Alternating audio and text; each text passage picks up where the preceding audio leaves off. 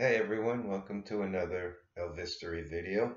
In this video, I would like to discuss the man who sold Elvis Presley all those nice flashy clothes he used to wear. And that man's name is Bernard Lansky um, of Lansky Brothers Clothes. Now, um, as the story goes, Bernard and his brother Guy Lansky opened Lansky Brothers in 1946 as an army surplus store. And that didn't last too long as far as them selling army surplus. And then they um, eventually closed their doors down and came up with another idea to sell flashy clothing. So, with that in mind, they reopened the store and uh, in 1952, Bernard was at the store and he's looking outside and he sees a young man out there. And it's Elvis. And at that point, Elvis was still in high school. So Bernard took the time and he, he said, Hey, young man, you know, would you like to come in and look around, you know? And he's in Elvis was being shy. He declined, you know, but he did strike up a little conversation with him. And he said to Bernard, you know, comes the day I become famous, I'm going to buy you out. And Bernard said, no, no, don't buy me out. I just want you to buy from me. so as the story goes, in uh, later years when Elvis started getting famous, well, let me backtrack a little bit. The first time Elvis bought from Bernard Lansky was for his high school prom. That was the very first time.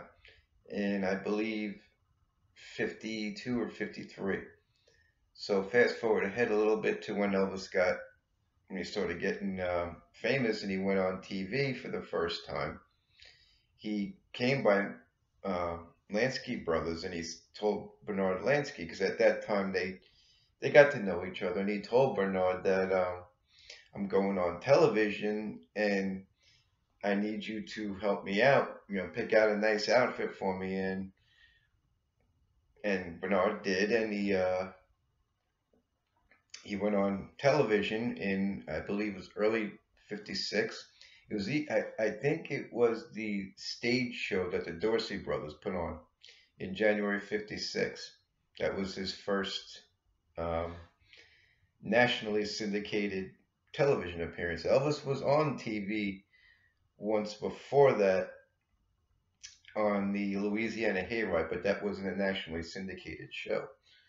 So anyway, um, Elvis and Bernard kept uh, a good relationship going, and he kept buying clothes from Bernard, and Bernard was uh, said that you know at one point he would bring um, actually bring Elvis's clothes to Graceland, and um, he would uh, he would go there like early in the morning, but Elvis naturally he was you know from his schedule he'd be sleeping whatever. So according to Bernard, um, Gladys would usually be there and open the door and welcome him in, and he said how nice Gladys was. You know, he said you know she would say oh, just take the clothes upstairs and leave him by his room. But when you're done, come down and have breakfast. We're having breakfast, you know. And that's just how Elvis and his family were, you know. I mean, they didn't, they welcomed people like that. That that that was that hospitality that they had, you know. And Elvis's mom, you know, from everybody I talked to back then, she was just a sweet, sweet lady. And uh, and then Bernard goes on to say that, you know, through the years, naturally, as Elvis got more famous, you know, he would have to open the store late at night, like around midnight, you know, late at night, just so Elvis can come in and do some shopping if he wanted to, because at that point Elvis couldn't go clothes shopping in the daytime. I mean, forget it, it would have been mass hysteria. But, but yeah, and um, their friendship and Elvis buying for him lasted, I mean, in total, I think it was about a good uh, 25 years they knew each other. And right up until the day Elvis passed. Actually, Bernard Lansky uh, was the man who picked out um, the white suit and blue tie that Elvis wore when he was laid out, when he died. Bernard Lansky picked out that suit. So he's quoted as saying, um, I dressed Elvis in his first suit and his last suit.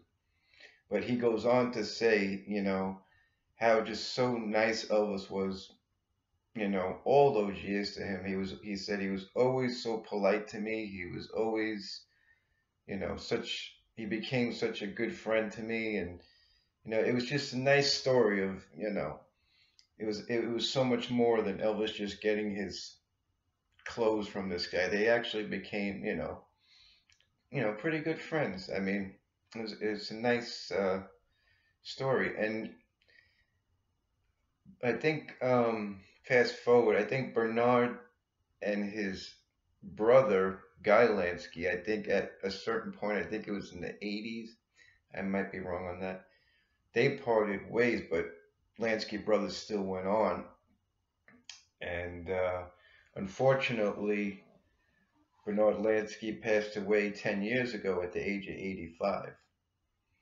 But um, I wanted to put this up because I feel this was an important part of Elvis Presley's, you know, pers- uh, being because Elvis was a very flashy person. We all know that. He liked to dress up, and Bernard Lansky was the guy that would dress him up like that he would pick out all his flashy clothes and everything, you know.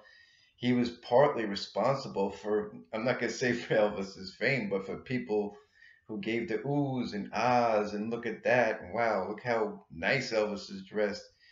That all came from Lansky brothers. And that's why I feel Bernard Lansky should be recognized for his part in Elvis's, you know, career.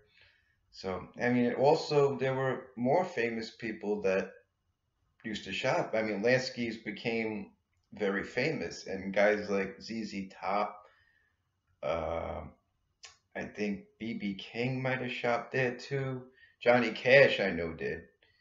Um, I think there were one or two more, but it became a pretty famous place. It's not located, I believe, to this day. I don't think it's located in the same location on Beale Street. I think it's now in uh, in a mall in Memphis.